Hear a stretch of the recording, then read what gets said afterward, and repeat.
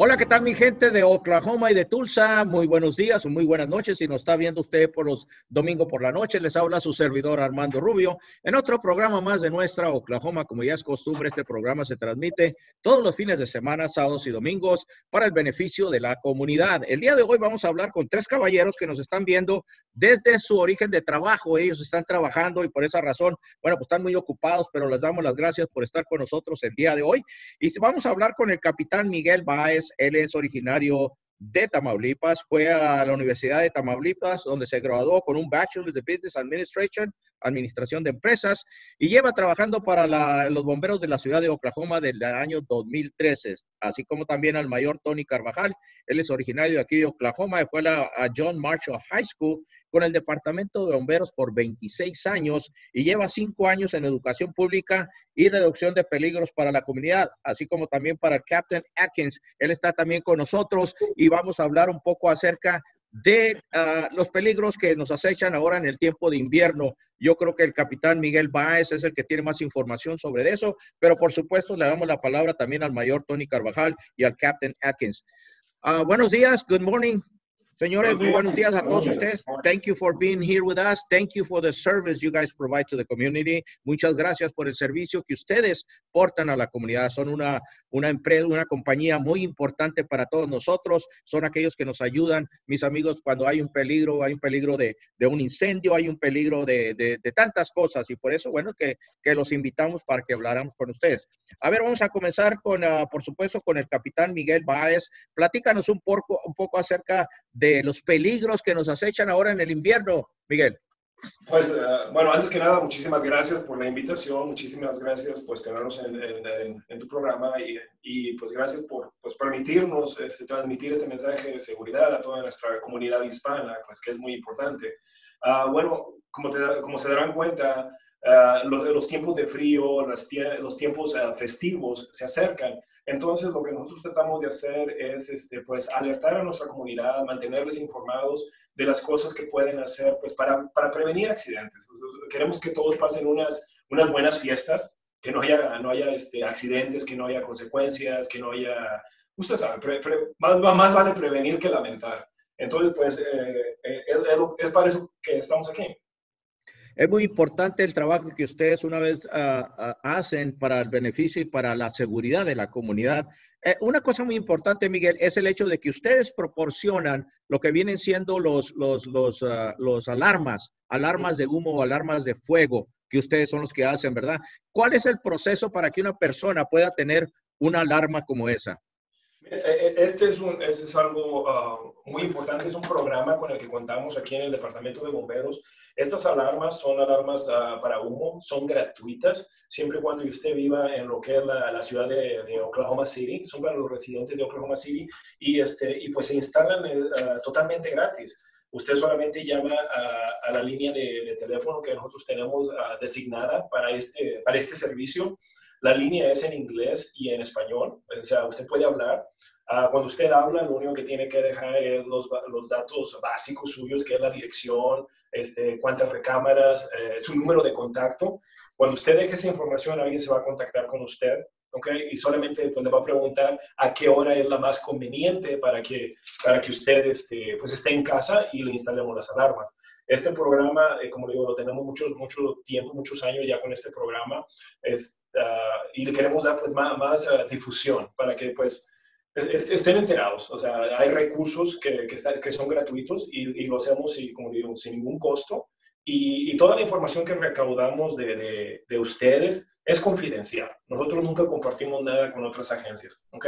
Para que no se sienta de que, oh, que se van, a van a venir a meter a mi casa. No, no, no. Nosotros lo hacemos para que usted esté seguro. ¿Ok?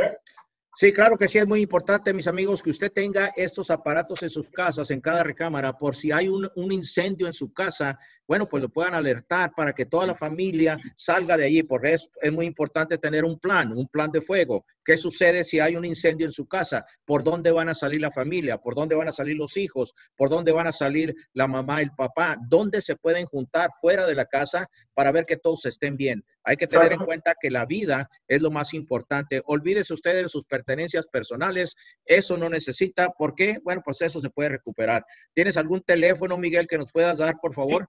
Precisamente, precisamente ese es el número que estoy buscando. Y caso curioso, ahorita le voy a decir por qué. Este, nosotros como, como recordamos el número, porque está bien fácil, es, por sus siglas en inglés, es el 316 BIP, como de, de, las alarmas que hacen el BIP BIP. BIP. Ya, que, que, si usted lo pasa a números es el 316 23 37, ¿ok? 23 37. 316 23 37. mucha atención, es el, el, código de área es el 405, porque no sé si sepan por ahí que ya muy pronto estaremos uh, cambiando el número de marcación en todo lo que es Oklahoma City. Tenemos que incluir el 405 para poder ser uh, conectados al número. Eh, es algo, creo, es, creo que es una nueva ley que acaba de pasar y va a haber más uh, códigos de área aquí en la ciudad de Oklahoma. Entonces, 405-316 BIP. Ok, sí, mis amigos, así es. Eh, el, el, año que entra en abril va a comenzar eso, en el cual va a haber diferentes áreas diferentes donde usted viva. Así es que desde ahorita le recomendamos que si usted tiene sus, todos sus números de teléfonos en su celular, bueno, pues los ponga al 405 y ya después le van a decir cuáles cambian y cuáles no. Es importante, mis amigos, que tenemos en cuenta todo eso, porque bueno, pues se acercan las fiestas, se acercan en el cual pues usamos mucha electricidad, en el cual también, por supuesto, usamos los calentones eléctricos. Vamos a ir a una breve pausa, Miguel, y continuamos con ustedes con más información aquí en nuestro Oklahoma.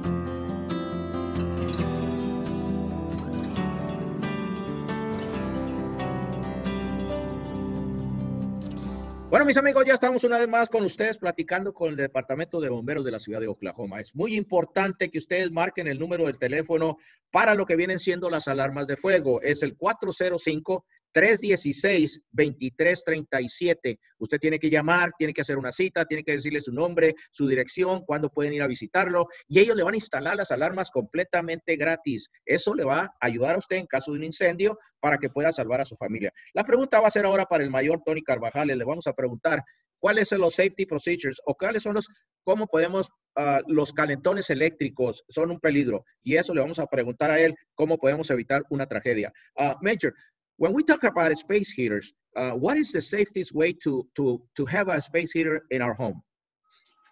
Well, um, as we change from, from the warmer months to the colder months, of course, it's time for the space heaters to be used. Um, and just like the name states, space heaters, space heaters need space um, away from anything that, that will burn.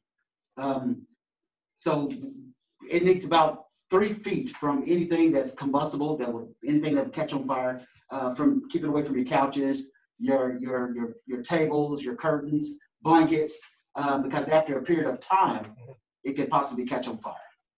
Como como dice nuestro, uh, nuestro mayor uh, Carvajal, él dice de que en estos tiempos estamos cambiando ya de estaciones de, de, clima, estaciones del tiempo, entonces estamos entrando a lo que son los, las condiciones más frías y, y ent entonces empezamos a utilizar los que son los calentadores de espacio o calentones como nosotros, como nosotros conocemos.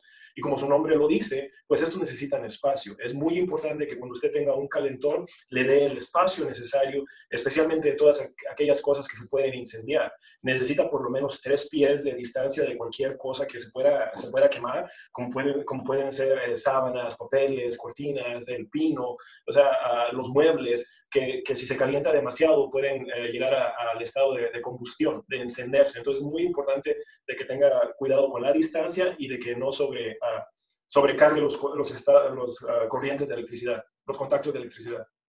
Sí, claro, es muy importante que veamos exactamente cuántas conexiones puede poner usted en un contacto de electricidad de la, de la, de la pared, porque puede que se sobrecargue y ocasione un incendio eléctrico es muy común en muchas de las veces, principalmente ahora en, invierno, en el cual tratamos de conectar muchas conexiones a la misma corriente y eso hace que se sobrecargue y haga un incendio eléctrico. Es muy importante que tomen esas precauciones, así como también, bueno, pues este, ustedes que están trabajando con el público, ¿en qué forma se están protegiendo por el COVID-19?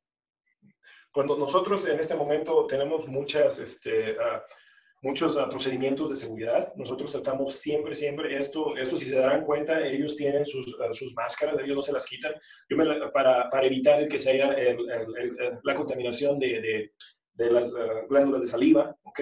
Este, siempre que vamos a, a, un lugar, siempre vamos con todo nuestro equipo de, de, protección, que son lentes, guantes, este, todo, todo el equipo de, de bombero. Este, tratamos de obtener la mayor información de la llamada a la que vamos, qué tipo de emergencia e, e, es, es, esa. Por lo regular siempre vamos a llamadas médicas, entonces tratamos de, de, sacar toda la información que podamos de esa llamada médica a la que vamos a asistir. Aquí en la oficina, si uno deja la oficina, uno tiene que, no puede dejar su, su escritorio sin estar utilizando sus, sus este, uh, máscaras. Este, siempre que nosotros utilizamos algo lo limpiamos. Si se darán cuenta, siempre tenemos uh, cosas para sanitizar o limpiar vaya las áreas donde estamos en contacto. Entonces, es, es muy importante por, uh, para nosotros el tener estos procedimientos de, de seguridad y, y, higiene, porque estamos en, en, en un constante... Uh, constante este, presencia con, con, con nuestros ciudadanos.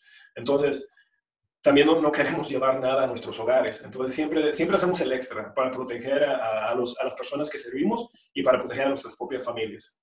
Claro que sí, es muy importante todos protegernos, así es que si ustedes invitan al departamento de bomberos a su casa, ustedes también tienen que tener la precaución de usar sus marcas hasta que estén ustedes en su propia casa. Vamos a otra pausa y regresamos con más de nuestro Oklahoma.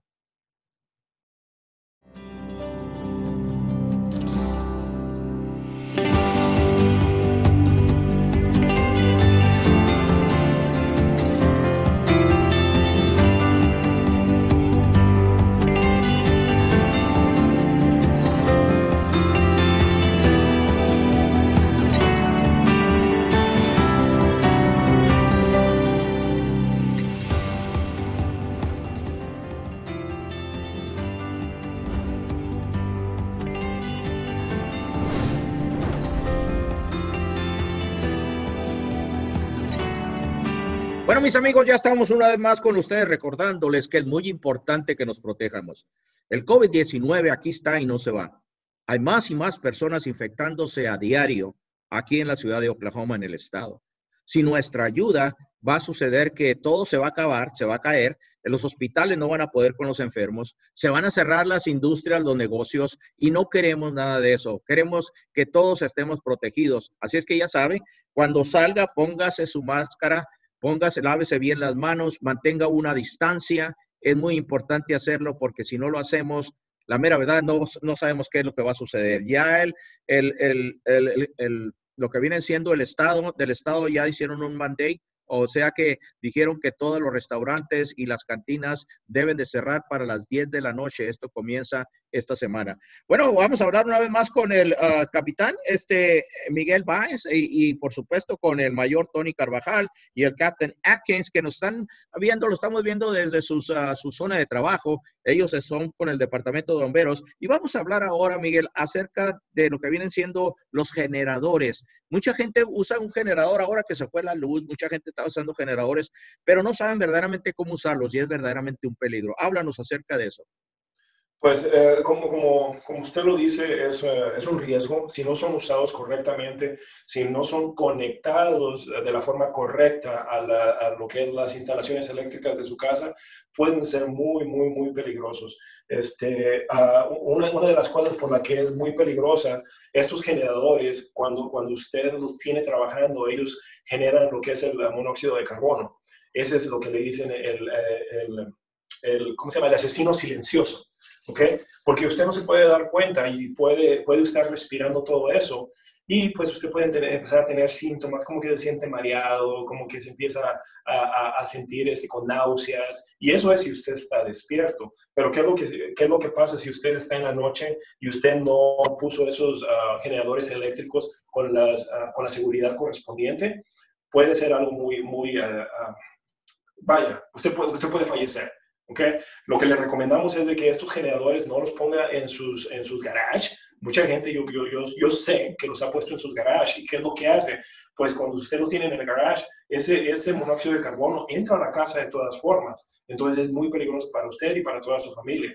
Estos tienen que estar afuera, lo más separado que usted pueda de la casa, ¿ok? En un área, en un área libre que esté bien ventilada para que esos gases que generan estos, ah, estos generadores eléctricos pues no entren a la casa y no estén en contacto con sus pulmones ni con su familia. Eh, eh, es lo mejor que le puedo decir. Si usted no sabe cómo instalar estos generadores eléctricos, consúltelo con un eléctrico, porque ellos tienen que hacer ahí unas, ah, unas conexiones especiales, desconectar lo que es la toma de que viene de la, de la, electricidad de la ciudad, tienen que desconectar eso para que solamente se independice, digamos, su casa y pueda tener el uso de, de, estos generadores. ¿okay? Entonces, son, son varias cosas que usted puede, eh, que puede tomar en consideración. Estos generan también mucho calor.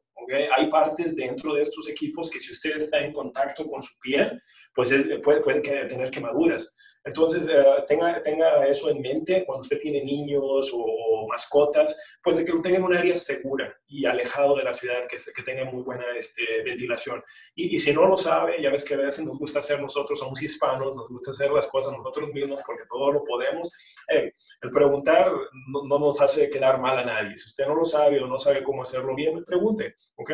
Pregúntele a algún eléctrico o hable al departamento de bomberos y nosotros le podemos referir más o menos cómo, cómo hacerlo de una manera segura. Bueno, pues qué lástima, Miguel, que yo no viva en la ciudad de Oklahoma. Estoy en la ciudad de Moore. Tendría que hablarle al departamento de bomberos de la ciudad de Moore para todos mis amigos que viven allá. Bueno, pues háblenle acerca de los detectores de humo. Es muy importante que lo hagan. Así como también en la ciudad de Edmond o la ciudad de Mustang, a la ciudad de todos esos. Dime, Miguel. Oh, le, iba a comentar. Eh, sí, este, nosotros, eh, afortunadamente, en nuestra página de, de internet, de ahí, si usted va al Fire Department website, eh, nosotros ahí tenemos un link que tiene muchísima información y eso está accesible para cualquier eh, persona en cualquier ciudad que usted viva.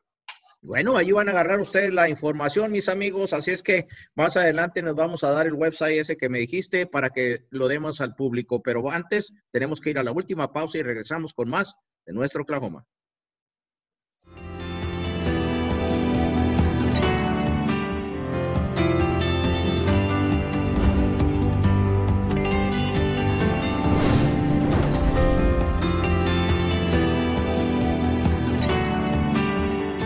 Bueno, mis amigos, ya estamos una vez más con ustedes después de esa breve pausa para que usted pueda comunicarse con el Departamento de Bomberos de la ciudad de Oklahoma. Es muy fácil hacerlo. Es el 405 316-2337. Si usted vive en una casa en la cual necesite un detector de humo, porque es muy importante que lo tenga, comuníquese a ese teléfono 316-2337, la, la, área 405. Si usted vive fuera de la ciudad de Oklahoma City, bueno, pues uh, a sus... Uh, a, las compañías de bomberos de su ciudad y ellos también le van a poder ayudar.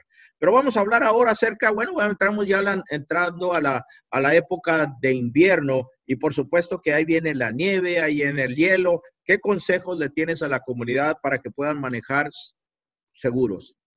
Ok, este, bueno, como consejos y como muchos hispanos que venimos de México, me incluyo, yo pues allá ni conocía la nieve, ni conocía el hielo, ni conocía nada de esto, este, la vine a conocer hasta acá, entonces uno viene a tocar de lo que es el aprender muchas cosas.